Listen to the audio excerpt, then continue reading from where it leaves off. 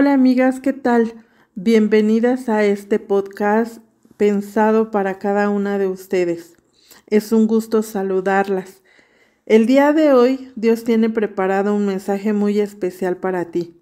Él quiere recordarte que tú le importas, que eres su princesa amada y que nada ni nadie podrá arrebatarte de su mano.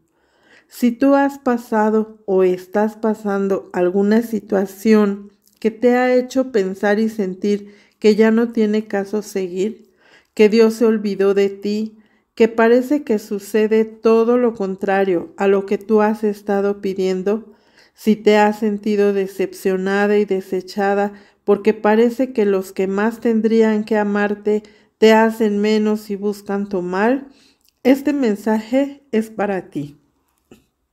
Vivimos en un mundo roto, lleno de imperfecciones, con personas dañadas que dañan a otras. Quiero decirte que me encanta la Biblia porque nos muestra personas reales, con problemas reales, con vidas complicadas, pero a las cuales Dios nunca dejó. Quiero traer a tu memoria algunos personajes bíblicos que pasaron por situaciones muy difíciles, y el primero de ellos es a quien conocemos como José el Soñador. La vida de José no fue nada fácil, fue el penúltimo de doce hijos, el consentido de su papá. Eso, entre muchas otras cosas, despertó una gran envidia en sus hermanos, a tal grado que decidieron desaparecerlo de su familia. ¿Te imaginas lo fuerte que fue esto para José? Ser uno de los menores de la familia y que sus hermanos tramaran todo esto contra él. Bueno, de este modo, José terminó siendo esclavo de Potifar. Nadie podía negar que Dios estaba con él, pues todo lo que José hacía, Dios lo prosperaba. Después que la esposa de Potifar quiso tener relaciones sexuales con José y él no accedió, a base de calumnias, José fue encarcelado y aún ahí Dios estaba con él. Después de algún tiempo, Faraón tuvo dos sueños que José interpretó y por su sabiduría e inteligencia fue puesto como gobernador en Egipto, nada menos y nada más, a donde más tarde el hambre llevaría a sus hermanos, sí, aquellos que lo vendieron. Ahora José tiene sus vidas en sus manos. El siguiente personaje es Agar, la sierva egipcia de Sara, quien la entregó a su marido Abraham para que con ella tuviera un hijo. Después de varios años de interminables pleitos entre ellas, Abraham despide a Agar y a su hijo Ismael, dándoles comida y agua para el camino. En medio del desierto se acaba el agua, y Agar echa a su hijo debajo de un arbusto, y ella se va a cierta distancia de él no tenía más esperanza. Los dos morirían. El muchacho alza su voz y llora, y Dios lo escucha, y le dice a Agar que hará de él una gran nación. Me llama la atención que la Biblia dice que Dios abrió los ojos de Agar y vio una fuente de agua. Ahora veremos Elías y la viuda de Sarepta. En aquel entonces dejó de llover por los pecados de Acab, rey de Israel, y Dios sostenía a Elías cuando cuervos le traían comida y bebía de un arroyo. Después de días se secó el arroyo y Elías fue a Sarepta, donde encuentra a una viuda a quien le dice que le traiga agua y pan. Ella le dice que no tiene más que un puñado de harina y un poco de aceite, que comerán lo último ella y su hijo para después morir. Dios le dice a través de Elías que la harina y el aceite no escasearán hasta que llueva sobre la tierra. Después encontramos a Elías en una tremenda victoria en el monte Carmelo, pero después él cae en depresión cuando Jezabel lo amenaza de muerte. Este se va a esconder pensando que solo él quedaba fiel de los hijos de Israel. Mas Dios le muestra que no está solo, que hay muchos más que no han doblado sus rodillas a Baal ni a ningún otro Dios. El siguiente en nuestra lista es David, un joven en quien Dios ya había puesto sus ojos, pero que su mismo padre no consideró para que estuviera presente en una reunión tan importante en donde estaría toda su familia como lo era la visita del profeta Samuel, quien iba a presentar sacrificio a Dios y quien ungiría al próximo rey, sin saberlo, David. Más adelante, este jovencito derrota a Goliat, un gigante filisteo que menospreciaba a Dios.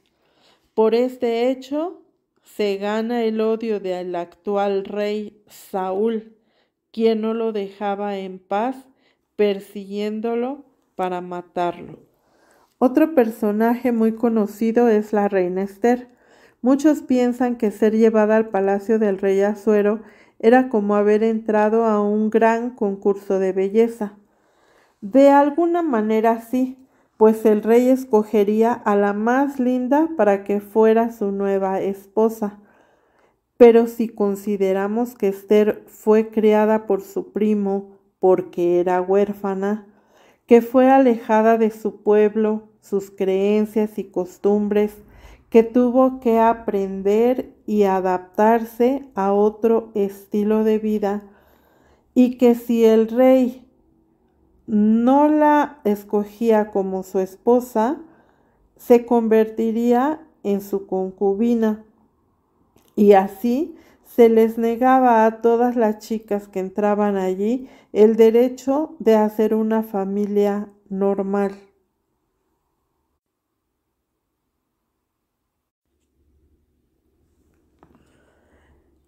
Al último que quiero mencionar el día de hoy es a Job.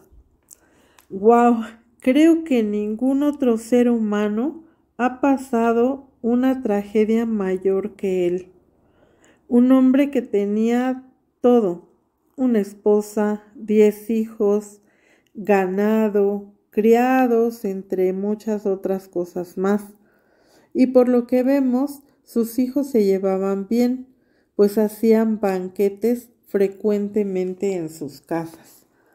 Aparte, Job era un hombre temeroso de Dios, que cuidaba de ofrecer holocaustos por si acaso sus hijos habían pecado.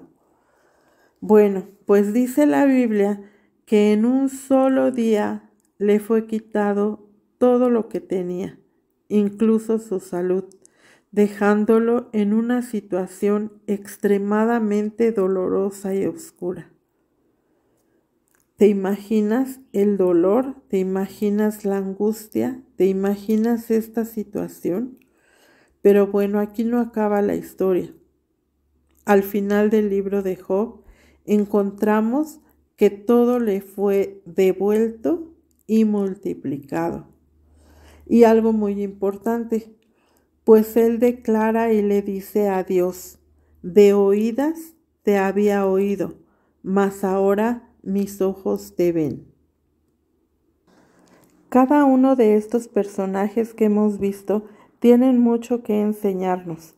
Primero, que fueron personas tan vulnerables como tú y como yo. Casi siempre leemos de corrido en la Biblia, pero si nos detenemos a analizar qué fue exactamente todo lo que vivieron y todo lo que implicó que llegaran a tener las victorias que tuvieron y llegaran a los lugares de influencia en donde Dios los puso, nos damos cuenta que no fue nada fácil, no fue de un día para otro, en la mayoría fueron largos procesos. Entonces mi invitación en esta hora es a que no te desanimes, que cualquier situación que estés pasando la entregues a Dios, que te rindas a Él, que tengas paciencia, que perseveres, que le obedezcas en lo que Él te está indicando. Hay un pastor que dice que cuando pasamos situaciones difíciles necesitamos tres cosas. Necesitamos a Dios, necesitamos las promesas de Dios y necesitamos a la gente de Dios. Busca que no te falte ninguna de ellas y nada te hará desistir ni menguar. Te encuentras en una situación como la de José o David, que su misma familia los desechó. Hay problemas en tu familia que piensas que no puedes lidiar más con ellas. El poder del Espíritu Santo está en ti. Llamo tu atención a que José perdonó a sus hermanos. El perdón es una palabra muy corta, pero muy profunda y muy difícil. Conocemos personas que han pasado toda su vida sin otorgar el perdón, haciéndose mucho daño. Es cierto que de pronto nos vemos en circunstancias que nosotros no provocamos y es como si te echaran una bola de fuego que tú abrazas. Está en ti soltarla y avanzar. Puedes estar pasando por alguna crisis económica como la de la viuda o de Agar, que parecía que no había más nada para ellas. Y sin embargo, me llama mucho la atención en el caso de Agar, que dice la Biblia que Dios abrió sus ojos y ella vio la fuente. No dice que en ese momento apareció la fuente, sino que en ese momento ella la vio. ¿Será que a veces estamos tan abrumadas y preocupadas con tantas cosas que no vemos la provisión de Dios? Y en el caso de la viuda, aunque ella no tenía, fue obediente y su obediencia provocó una gran bendición de parte de Dios. Bueno, tal vez te sientas sola y deprimida como le pasó a Elías, pero igual que él, no estás sola. Primero tienes al Espíritu Santo, que día y noche está contigo y que intercede al Padre por ti. Romanos 8 dice que tanto el Espíritu Santo como Jesucristo interceden por nosotros. Aparte, hay ángeles a tu alrededor para que te cuiden y hay muchísimas personas que diariamente elevamos oraciones por la humanidad. Aparte de que estoy segura que hay personas a tu alrededor que te aman. Si como la reina Esther te faltó la presencia de tus padres o te has visto en la necesidad de mudarte del lugar en el que creciste, Créeme que no hay casualidades y que Dios tiene planes para ti. Ten fe y esperanza. En el lugar donde estás, será y serás de bendición. Y como se le dijo a Esther, quién sabe si para esta hora y para este lugar has llegado. Y por último, creo que una de las cosas más complicadas es perder a un ser querido y puede ser que estés en este proceso de luto, pero no te dejes vencer. Dios está contigo y conoce perfecto tu dolor y te aseguro que todo lo que entregamos a nuestro Padre, las cosas más fuertes o malas a las que no le hayamos sentido, Él lo cambia para bien.